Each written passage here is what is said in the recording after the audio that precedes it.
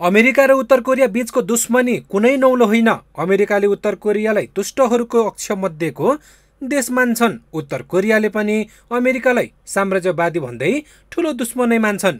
दुवै देश बीचको तनावले कहिलेकाहीँ आणविक अस्त्रको प्रयोगको खतरा समेत निम्त्याउँछन्। शक्तिको दम्ब देखाउने अमेरिका विश्व सधैँ आफ्नो मुठीमा राख्न खोज्छन् तर उत्तर कोरिया मान्न तयार हुँदैनन्। यी दुई देशको दुश्मनीले पछिल्लो समय उच्चाइ लिएको छ।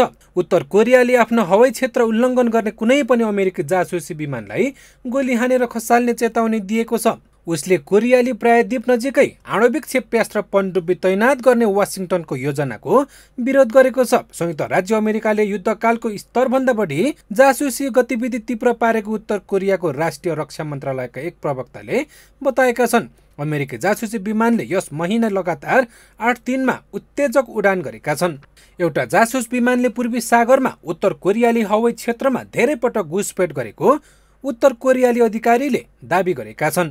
प्रवक्ताले पोयोङयाङले अमेरिकी विमान खसालेको विगतका घटनाहरूको हवाला दिँदै अमेरिकाले आफ्नो हवाई जासुसीको मूल्य चुकाउने चेतावनी दिए। वक्तव्यमा कोरियाली प्रायद्वीपमा अमेरिकी रणनीतिक आणविक सम्पत्ति तैनात गर्ने योजनालाई उत्तर कोरियाका लागि सबैभन्दा अघोषित आणविक ब्ल्याकमेलिङको संज्ञा दिँदै यसले क्षेत्रीय र विश्वव्यापी सुरक्षाका लागि गम्भीर खतरा उत्पन्न गरेको उल्लेख गरिएको छ।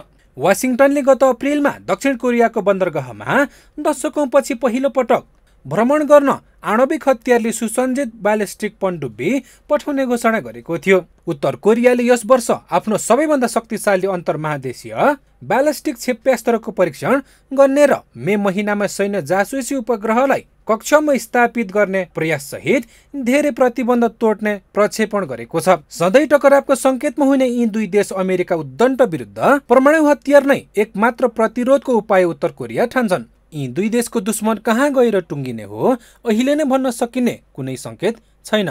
यो हो टेलिभिजनका लागि मिङमा शेर्पा काठमाडौँ।